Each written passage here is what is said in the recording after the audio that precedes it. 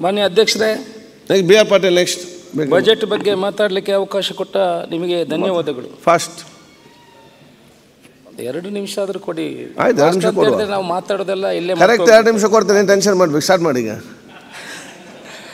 ಈಗ ಹಿರಿಯರೆಲ್ಲ ಮಾತಾಡುವಾಗ ಕಂಟಿನ್ಯೂ ಮಾಡಿ ಸ್ಟಾಪ್ ಮಾಡಬೇಡಿ. ಒಂದು ಎರಡು ನಿಮಿಷ ಕೊಡಿ. ಹಿರಿಯರು ನಾಲ್ಕೈದು ಸಲ ಗೆದ್ದು ಶ್ರಮಪಟ್ಟು ಹಿರಿಯರಾಗಿದ್ದಾರೆ. ನೀವು ಕೂಡ ಹಿರಿಯರಾದಾಗ ನಿಮಗೆ ಜಾಸ್ತಿ ಟೈಮ್ ಸಿಗ್ತದೆ.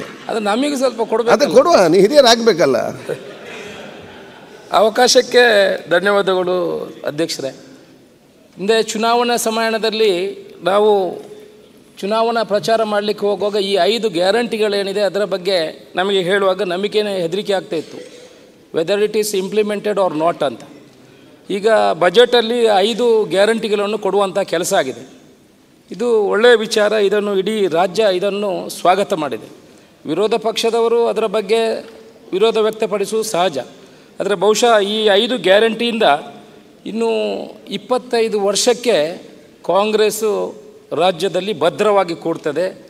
ವಿರೋಧ ಪಕ್ಷದವರಿಗೆ ಬಹುಶಃ ಅದೇ ಸ್ಥಾನದಲ್ಲಿ ಕೂಡುವಂಥ ಪರಿಸ್ಥಿತಿ ಆಗ್ತದೆ ಅಂತ ನನ್ನ ಅಭಿಪ್ರಾಯ. ಬಜೆಟಿನಲ್ಲಿ ಬಜೆಟಿನ ನಾವು ಮಾತಾಡಲಿಕ್ಕೆ ಮಾತಾಡಿ ಯಾಕೆ ನನ್ನನ್ನು ನೋಡಿ ನೀವು? ಬಜೆಟಿನಲ್ಲಿ ಒಂದಷ್ಟು ವಿಚಾರಗಳು ಇನ್ನಷ್ಟು ನಮ್ಮ ಭಾಗಕ್ಕೆ ಕೊಡುವಂಥ ಅವಶ್ಯಕತೆ ಇದೆ ಸಭಾಧ್ಯಕ್ಷರೇ. ಅದರಲ್ಲಿ ಪುತ್ತೂರಿನಲ್ಲಿ ಪ್ರತಿ ಡಿಸ್ಟಿಕ್ಕಿಗೆ ಒಂದು ಮೆಡಿಕಲ್ ಕಾಲೇಜ್ ಅನ್ನೋ ವಿಚಾರ. ಅದನ್ನು ಈಗ ದಕ್ಷಿಣ ಕನ್ನಡ ಜಿಲ್ಲೆಯಲ್ಲಿ ಅದು ಇಲ್ಲ. ಪುತ್ತೂರಿನಲ್ಲಿ ವ್ಯವಸ್ಥಿತವಾದ ಆಸ್ಪತ್ರೆಗಳು ಇಲ್ಲ. ಆದ್ದರಿಂದ ಈ ಡಿಸ್ಟಿಕ್ಕಿಗೆ ಒಂದು ಮೆಡಿಕಲ್ ಕಾಲೇಜ್ ಏನು ಬರಲಿಕ್ಕಿದೆ ಅದನ್ನು ನಮಗೆ ಪುತ್ ನೆಕ್ಸ್ಟ್ ಬಜೆಟಿನಲ್ಲಾದರೂ ಅದನ್ನು ಪುತ್ತೂರಿನಲ್ಲಿ ನಮಗೆ ಕೊಡಬೇಕಂತ ನಾನು ವಿನಂತಿ ಮಾಡಿಕೊಳ್ತಾ ಇದ್ದೆ. ಓಕೆ. ಆನಂತರ ಮಂಗಳೂರಿಗೆ ನಮ್ಮ ದಕ್ಷಿಣ ಕನ್ನಡ ಜಿಲ್ಲೆಗೆ ಪ್ರತಿ ವರ್ಷ ಈ ಒಂದು ಹತ್ತು ಹದಿನೈದು ವರ್ಷದಲ್ಲಿ ದಕ್ಷಿಣ ಕನ್ನಡ ಜಿಲ್ಲೆಗೆ ಎಲ್ಲ ಬಜೆಟ್ಗಳಲ್ಲೂ ಯಾವುದು ನಾವು ಮಾತಾಡೋದು ಕಡಿಮೆ ಸಭಾಧ್ಯಕ್ಷ ಹೌದು. ನಾವು ಸುಮ್ಮನೆ ಕೂತ್ಕೊಳ್ಳೋದು. ಈಗ ನೀವು ನನ್ನನ್ನು ಕೂತ್ಕೊಳ್ಳಿಕ್ಕೆ ಹೇಳಿದ್ರಿ. ನಾವು ಕೂತ್ಕೊಳ್ಳೋದು ಕಡಿಮೆ.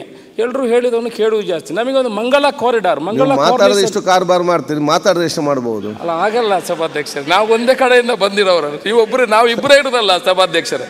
ನೀವು ಒಂದು ಸಭಾಧ್ಯಕ್ಷರಾಗಿ ಕೂತಿದ್ರಿ. ನನ್ನನ್ನು ಒಬ್ಬರನ್ನ ಇಲ್ಲಿ ಕೂರಿಸಿದ್ರಿ ಬಾಕಿ ಎಲ್ಲ ಆ ಕಡೆ ಕೂರಿಸಿದ್ರಿ ಹಾಗೆ ಈಗ ಐದು ವರ್ಷ ಹೇಳಿದೆಲ್ಲ ನಾನು ಹೇಳಿದೆ ಅಲ್ಲ. ಸಭಾಧ್ಯಕ್ಷರೇ ಈಗ ಹತ್ತು ಹದಿನೈದು ವರ್ಷದಿಂದ ಮಂಗಳ ಕಾರ್ನಿಸ್ ಅಂತ ನಮ್ಮ ಮಂತ್ರಿಗಳು ಉಸ್ತುವಾರಿ ಮಂತ್ರಿಗಳು ಇದ್ದಾರೆ. ಮಂಗಳ ಕಾರ್ನಿಸ್ ಅಂತ ಒಂದು ರಸ್ತೆ ಏನಿದೆ ಈ ಕಾರಿಡಾರ್ ರಸ್ತೆಯನ್ನು ಮಾಡಿದರೆ ಅದಕ್ಕೆ ಒಂದು ಸಾವಿರ ಕೋಟಿ ಬೇಕಾಗಿರುವುದು ಸಭಾಧ್ಯಕ್ಷರೇ. ಪ್ರತಿ ಬಜೆಟ್ನಲ್ಲಿ ಒಂದು ಇನ್ನೂರು ಇನ್ನೂರು ಕೋಟಿ ಕೊಟ್ಟರೆ ಇಡೀ ದಕ್ಷಿಣ ಕನ್ನಡ ಜಿಲ್ಲೆ ಒಂದು ಬೆಂಚ್ ಮಾರ್ಕ್ ಆಗ್ತದೆ ಅಂತ ನನ್ನ ಅಭಿಪ್ರಾಯ ಅದಕ್ಕೊಂದು ಅವಶ್ಯಕತೆ ಇದೆ ಸಭಾಧ್ಯಕ್ಷರೇ. ಆನಂತರ ಅಡಿಕೆಗೆ ಒಂದು ಎರಡೇ ಮೂರೇ ವಿಚಾರ ಅಲ್ಲ ಬೇಗ ಹೇಳಿ ಈಗ. ಅಡಿಕೆಗೆ ಹಳದಿ ರೋಗ ಚು ಚುಕ್ಕಿ ರೋಗ ಬರ್ತಾ ಇದೆ ಸಭಾಧ್ಯಕ್ಷರು. ಅಲ್ಲಿ ಸಿ ಪಿ ಸಿ ಆರ್ ಏನು ಸೆಂಟ್ರಲ್ ಗೌರ್ಮೆಂಟ್ ದೊಡ್ಡ ಒಂದು ಪ್ರಯೋಗಾಲಯ ಒಂದು ದೊಡ್ಡ ಹಳದಿ ಚುಕ್ಕೆ ಇಲ್ಲ ಎಲೆ ಚುಕ್ಕಿ ರೋಗ. ಎಲೆ ಚುಕ್ಕೆ. ಎಲೆ ಚುಕ್ಕಿ ರೋಗ. ನಮ್ಮ ಕನ್ನಡ ಹಾಗೆ. ಅಲ್ಲ ಆ ಕಡೆಯಿಂದ ಎಲೆ ಚುಕ್ಕೆ ಅಂತ ನಮ್ಮಲ್ಲಿ ಹಳದಿ ಚುಕ್ಕೆ ಅಂತ ಹೇಳ್ತಾರೆ. ಇಷ್ಟವರೆಗೆ ಇವರು ಅಡಿಕೆ ಬಗ್ಗೆ ವಿರೋಧ ಮಾತಾಡಿದವರು ಈಗ ಅದಕ್ಕೆ ಧ್ವನಿ ಸೇರಿಸ್ತಾ ಇದ್ದಾರೆ. ಪರವಾಗಿಲ್ಲ ಸಭಾಧ್ಯಕ್ಷರೇ. ಅದು ರಬ್ಬರಿಗೆ ಕೂಡ ಬಂದಿದೆ ಸಭಾಧ್ಯಕ್ಷರೇ. ಯಾರು ವಿರೋಧ ಮಾತಾಡಿದ್ರು ಆಯ್ತು ಅಡಿಕೆ ಬಗ್ಗೆ ಮುಂದೆ ಕಳೆದ ವರ್ಷ ಅವರ ಅಧಿಕಾರ ನಾನೇ ಅಡಿಕೆ ಬಗ್ಗೆ ರಾಜ್ಯದಲ್ಲಿ ಯಾವಾಗಲೂ. ಈ ರಾಜ್ಯದ ಜನ ಇವರು ಅದಕ್ಕೆ ವಿರೋಧ ಮಾತಾಡ್ತಾರೆ. ಹೇಳಿದ್ದಾರೆ. ನಾನು. ಹೇಳುದಂತಲ್ಲ ನಾನು ಅವಾಗ ವಿರೋಧ ಮಾಡಿ ಮುಂದಕ್ಕೆ ನೀವು ಕಂಟಿನ್ಯೂ ಲಾಸ್ಟ್ ಪಾಯಿಂಟ್ ಹಳದಿ ರೋಗ ಹಳದಿ ಚುಕ್ಕಿ ರೋಗ ಈಗ ಅಡಿಕೆಗೂ ಬರ್ತಾ ಇದೆ ರಬ್ಬರ್ಗೂ ಕೂಡ ಬರ್ತಾ ಇದೆ. ಅಲ್ಲಿ ಸಿ ಪಿ ಸಿ ಆರ್ ಅಂತ ದೊಡ್ಡ ಒಂದು ಸಂಸ್ಥೆನೇ ಇದೆ. ಅವರು ಏನು ಕೆಲಸ ಮಾಡ್ತಿಲ್ಲ ಕೇಂದ್ರ ಸರ್ಕಾರದ ಅವರನ್ನು ತಗೊಂಡು ಅದನ್ನು ಅದಕ್ಕೆ ಬೇಕಾಗುವಂತಹ ವಿಚಾರಗಳನ್ನು ಅವರು ಅದಕ್ಕೆ ಗಮನಕ್ಕೆ ತಗೊಳ್ಬೇಕು ಅಂತ. ಸಭಾಧ್ಯಕ್ಷ ಎರಡೇ ವಿಚಾರಗಳು ಎರಡೇ ಎರಡೇ point S P office. S P office ಈಗ ಕಮಿಷನರೇಟು ಮತ್ತು ಎಸ್ ಪಿ ಆಫೀಸು ಎರಡು ಮಂಗಳೂರಲ್ಲಿ ಇದೆ ಸಭಾಧ್ಯಕ್ಷರೇ ಇದು ಪುತ್ತೂರಿಗೆ ಶಿಫ್ಟ್ ಆಗಬೇಕಂತ ಹೇಳಿಬಿಟ್ಟು ಯು ಮಗಳು ಮೊದಲೇ ಆರ್ಡರ್ ಆಗಿದೆ. ಇದನ್ನು ಕೂಡ ನೆಕ್ಸ್ಟ್ ಬಜೆಟ್ನೊಂದಿಗೆ ಪ್ರಾಮುಖ್ಯತೆ ಕೊಟ್ಟದನ್ನು ಮಾಡುವಂಥ ಒಂದು ವಿಚಾರ. ಇನ್ನು ಎರಡು ವಿಚಾರ ಇದೆ ಎರಡು ಒಂದು ನಿಮಿಷದಲ್ಲಿ ಮುಗಿಸ್ತೀನಿ ಸಭಾಧ್ಯಕ್ಷರೇ.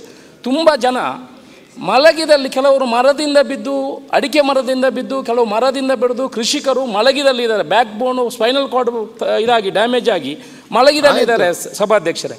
ಅವರಿಗೆ ನೋಡ್ಕೊಳ್ಳಿಕ್ಕೆ ಇನ್ನೊಬ್ಬರು ಅಟೆಂಡೆನ್ಸ್ ಬೇಕು. ಸುಮಾರು ಅವರ ಜೀವನ ಪೂರ್ತಿ ಅವರು ಮಲಗಿದಲ್ಲಿ ಇರುವಂಥವ್ರು. ಅವರನ್ನು ಕನಿಷ್ಠ ಒಂದು ಇಡೀ ರಾಜ್ಯದಲ್ಲಿ ಒಂದು ಇಪ್ಪತ್ತೈದು ಸಾವಿರ ಜನ ಸಿಗ್ಬೋದು ನಾವು ಹುಡುಕಿದ್ರೆ. ಅವರಿಗೆ ಕನಿಷ್ಠ ಒಂದು ತಿಂಗಳಿಗೆ ಐದು ಸಾವಿರ ಮಾನವೀಯತೆ ನೆಲೆಯಿಂದ ಅವರಿಗೆ ಒಂದು ಐದು ಸಾವಿರ ರೂಪಾಯಿ ಕೊಡುವಂಥ ಕೆಲಸ ಆಗಬೇಕು. ಅವರು ಸಾವು ನೋವಿನ ಮಧ್ಯೆ ದಿವಸ ದಿವಸ ಕಳೀತಾ ಇದ್ದಾರೆ. ಅವರಿಗೆ ಮರಣವನ್ನು ಕೊಡಲಿಕ್ಕೆ ನಮ್ಮ ಅದು ಕಾನೂನಲ್ಲಿ ಅವಕಾಶ ಇಲ್ಲ. ಅದರಿಂದ ಅವರಿಗೆ ವರ್ಷ ತಿಂಗಳಿಗೆ ಒಂದು ಐದು ಸಾವಿರ ರೂಪಾಯಿ ಕೊಡುವಂಥದ್ದನ್ನು ಖಂಡಿತ ಅವರನ್ನು ಸರ್ಕಾರ. ಗಮನಿಸಬೇಕಂತ ಸಭಾಧ್ಯಕ್ಷರು ಒಂದೇ ವಿಚಾರ. ಒಂದೇ ಒಂದು ಪಾಯಿಂಟ್ ಮಾಡಿ ನಿಲ್ಲಿಸ್ತೀನಿ ಸಭಾಧ್ಯಕ್ಷರೇ. ಆನಂತರ ಪ್ರಣಾಳಿಕೆಯಲ್ಲಿ ಬಂಟ್ ಕಮ್ಯುನಿಟಿಗೆ ಅಂದರೆ ಇಷ್ಟು ವರ್ಷದ ನೀವು ಸರಕಾರವನ್ನು ನೋಡಿದರೆ ಬಂಟ ದಕ್ಷಿಣ ಕನ್ನಡದ ಬಂಟ ಕಮ್ಯುನಿಟಿಗೆ ಯಾವತ್ತು ಯಾವ ಸರ್ಕಾರನೂ ಇವತ್ತು ಯಾವುದೇ ಪ್ರಣಾಳಿಕೆಯಲ್ಲಿ ಯಾವುದನ್ನು ಹೇಳಿಲ್ಲ. ಕಾಂಗ್ರೆಸ್ ಸರ್ಕಾರ ಈ ರೀ ಈ ವರ್ಷದ ಪ್ರಣಾಳಿಕೆಯಲ್ಲಿ ಬಂಟ ಕಮ್ಯುನಿಟಿಗೆ ಇಪ್ಪತ್ತು ಇನ್ನೂರೈವತ್ತು ಕೋಟಿ ಕೊಡ್ತೀವಿ ಅಂತ ವಿಚಾರವನ್ನು ಹೇಳಿದ್ದಾರೆ. ಖಂಡಿತ ಮುಂದಿನ ಬಜೆಟ್ಗಳಲ್ಲಿ ಅದನ್ನು ಕೂಡ ಇದನ್ನು ಒದಗಿಸುವಂಥ ಕೆಲಸ ಆಗಬೇಕು ಅಂತ ಸಭಾಧ್ಯಕ್ಷರ ಮೂಲಕ ಮನವಿ ಮನೆ ಮನವಿ ಮಾಡಿಕೊಳ್ತೇವೆ ಸಭಾಧ್ಯಕ್ಷ.